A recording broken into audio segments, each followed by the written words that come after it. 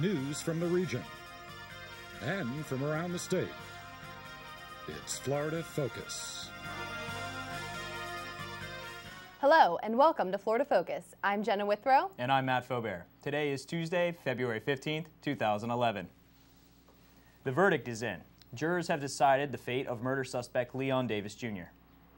Joining us now is Laura Monteverdi. What's the latest on the case, Laura? Well, Jenna, jurors deliberated for three hours today before they found Leon Davis Jr. guilty of murdering three people in Lake Wales.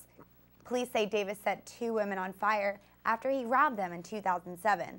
One victim was pregnant at the time. Prosecutors will seek the death penalty. One rescuer saved dozens of greyhounds from a fiery death early this morning. James Campbell ran through the bur burning building to save 46 greyhounds from a fire at Derby Lane's dog track in St. Petersburg. Firefighters believe electrical problems caused the blaze. No people or animals were hurt. Plans for the St. Pete Pier appear on the horizon today. Tim LaHaie has more in the newsroom. Today, a development company announced its plans for the historic landmark. The city of St. Petersburg has a $50 million budget in store for the pier. The development company, Echelon Holdings, says they will stay within the budget. Their plans include an expanded park, retail shops, and an amphitheater. They will unveil their plans tonight at the Renaissance Vinoy. Bad weather may affect the price you pay for clothes. Weather conditions in the U.S., China, Pakistan, and Australia have damaged cotton crops, causing prices to double since last year.